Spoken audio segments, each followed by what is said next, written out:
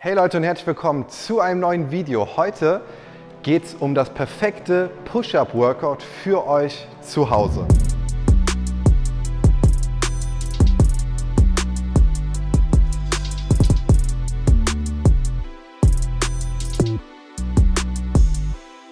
Das große Problem ist ja bei Push-Ups oder allgemein, wenn ihr einfach funktionell trainiert, dass ihr es manchmal nicht schafft, alle Muskeln von jeder Seite und von jeder Richtung zu treffen. Und heute nehmen wir das Beispiel Liegestütze, Push-Ups dazu. Und wie ihr wisst, teilt sich die Brust in drei Teile auf. Ihr habt einmal die obere Brust, wo die Muskelfasern hier oben lang laufen, die mittlere hierhin und die unteren hier. Jetzt haben wir das große Problem, wenn wir normale Liegestütze machen, machen wir immer nur so. Jetzt wollen wir aber in diesem Workout, weil es ja das perfekte Push-Up-Workout sein soll, alle Dimensionen im Muskel treffen. Und dazu zeige ich euch jetzt immer verschiedene Varianten und auch in verschiedenen Levels, sodass es jeder mitmachen kann. Und wir legen auch sofort los mit der ersten Übung. Wir starten mit der oberen Brust und wenn wir jetzt mit frei, freien Gewichten trainieren oder im Gym, dann sind immer obere, ähm, wenn ihr die obere Brust treffen wollt, müsst ihr immer nach oben drücken. Jetzt haben wir natürlich das Problem, wenn wir Push-Ups machen, wie wollen wir nach oben drücken? Und das ist eigentlich ganz einfach. Wir müssen nur den Winkel auch hier jetzt verändern. Die einfache Variante ist, ihr seid auf den Knien, setzt die Knie ab und verschiebt jetzt die Arme so ein bisschen nach vorne. Nicht zu weit, aber so, dass ihr ungefähr, wenn ihr runtergeht, eine ähnliche Richtung habt, wie wenn ihr jetzt Kurzhantel drücken machen würdet für die obere Brust.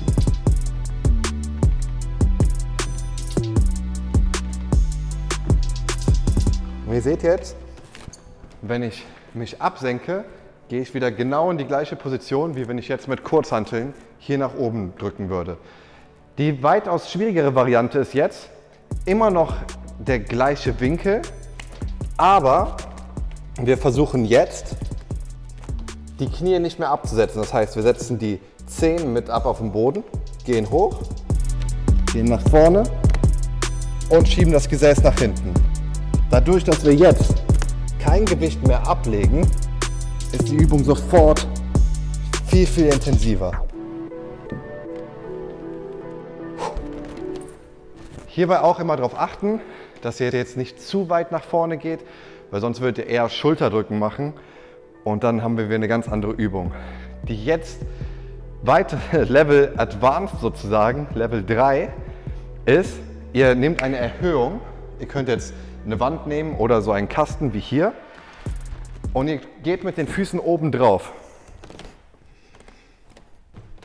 Jetzt habt ihr hier normale Liegestützposition. Jetzt müssen wir aber weiter nach vorne gehen und gehen hier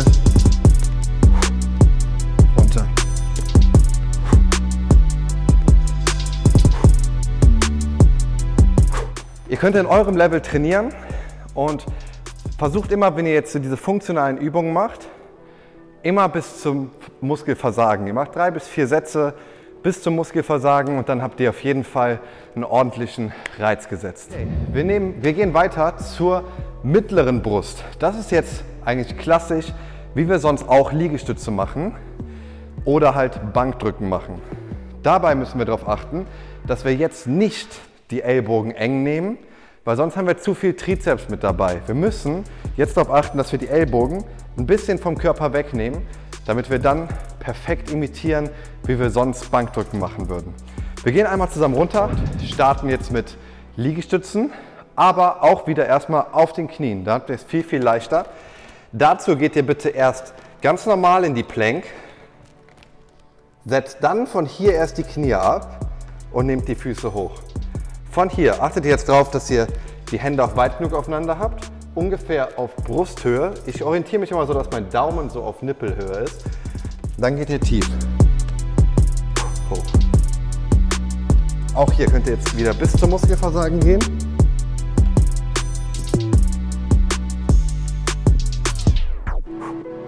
Level 2. Ihr setzt die Füße ab, geht in die normale Plank-Position und auch hier geht tief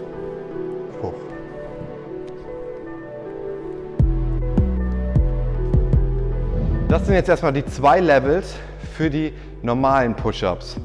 Jetzt gibt es allerdings noch ein Level 3, wie ihr es noch intensiver machen könnt und das sind die Archer Push-Ups. Die sind schon direkt viel, viel schwieriger. Ihr habt sie, glaube ich, schon mal in einem Workout vorher gesehen. Trotzdem hier nochmal kurz zur Erklärung. Jetzt konzentrieren wir uns darauf, dass wir immer mit einem Arm mehr pushen. Das heißt nur mit einer Seite auch. Wir starten. Ihr müsst jetzt wesentlich weiter auseinander gehen und konzentriert euch immer auf eine Seite. Zack. Andere Seite. Zack. Dadurch habt ihr viel mehr Gewicht auf dem einen Arm. Und die Übung ist direkt ich würde sagen, fünfmal intensiver, als wenn ihr beide Hände benutzt.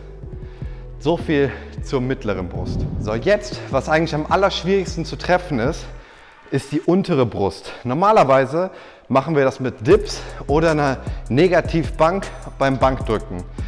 Wenn wir jetzt Push-Ups haben, ist aber extrem schwer, den Winkel negativ zu haben, weil wir eigentlich sonst immer nach unten drücken. Bei Dips zum Beispiel drücken wir nach unten oder auch wenn wir so liegen, drücken wir auch theoretisch, wenn der Körper nach unten liegt, nach unten. So, jetzt haben wir die Schwierigkeit, wir haben ja den Boden da. Und auch hier können wir jetzt damit arbeiten, dass wir die Armhaltung verändern. Und zwar fangen wir wieder an mit auf den Knien. Achtet jetzt drauf, wenn wir hier die obere Brust haben, hier die mittlere, ist hier die untere. Und da wird jetzt spannend. Für die meisten wird diese Übung schon sehr schwer sein, das heißt, wir starten jetzt wieder hier, setzen die Knie ab, gehen nochmal weiter nach hinten, Knie kommen, äh, Füße kommen hoch und ihr geht hier vorne runter. Ich blende euch nochmal hier oben die erste Variante ein, dann seht ihr direkt den Unterschied zu den anderen. Die Armhaltung ist ganz, ganz anders. Und dadurch aktiviert ihr mehr die unteren Muskelfasern der Brust. Level 2 für die schon Fortgeschrittenen nennt sich Pseudo-Plank Push-Up. Pseudo-Plank, weil bei normalen Plank sind die Füße in der Luft, hier jetzt nicht. Ich habe sie schon mal auf Instagram gezeigt bei manchen ähm, Videos. Hier habt ihr jetzt genau gleich. Achtet darauf, dass die Hände weiter hinten sind.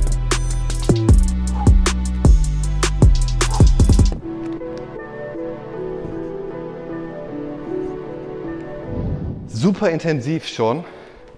Und dadurch habt ihr jetzt nochmal mehr Gewicht auf der Brust und aktiviert die unteren Muskelfasern der Brust.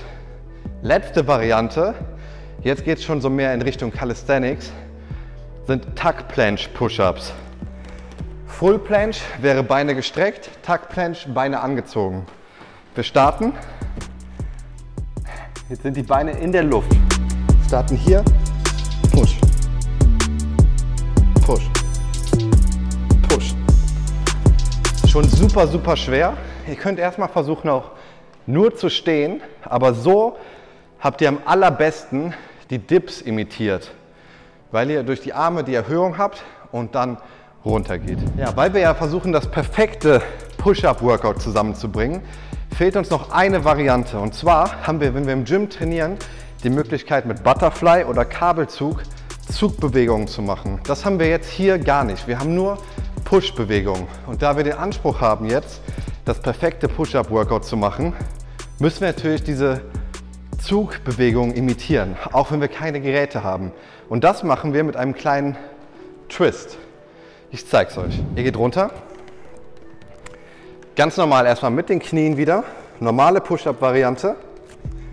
Und wenn ihr jetzt hochkommt, nehmt ihr die Arme ein bisschen enger zusammen, das ist wichtig. Ihr geht tief und twistet zur einen Seite. Ihr müsst den Twist jetzt mehr mit dem Oberkörper machen.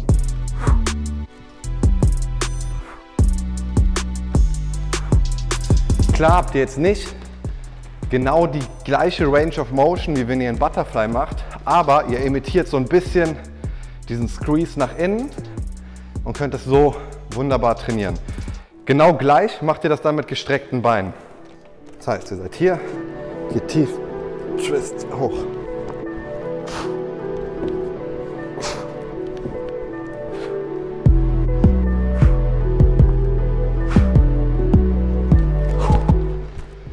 Und habt ihr so ein bisschen noch diese fliegenden Bewegungen imitiert. Als Finisher, wem das alles ein bisschen noch zu leicht gewesen ist, der kann das Ganze intensivieren, indem er explosive Übungen mit einbaut. Ich habe schon mal ein Video gemacht, hier oben in der Infobox, zum Thema explosive Bodyweight-Übungen. Jetzt machen wir nur die Push-Up-Varianten und wir starten mit Explosive Push-Ups, aber auf den Knien. Ganz simpel, geht wieder Liegestützposition, Knie absenken, und jetzt springen wir nicht einfach nur hoch, sondern von einer Seite zur anderen. Wir gehen höpp, höpp, höpp. Habt ihr es noch ein bisschen spannender. Die normalen Explosive Push-Up kennt ihr. Pusht hoch, Arme gestreckt, langsam wieder abfedern. Also, wir starten hier. Geht hopp.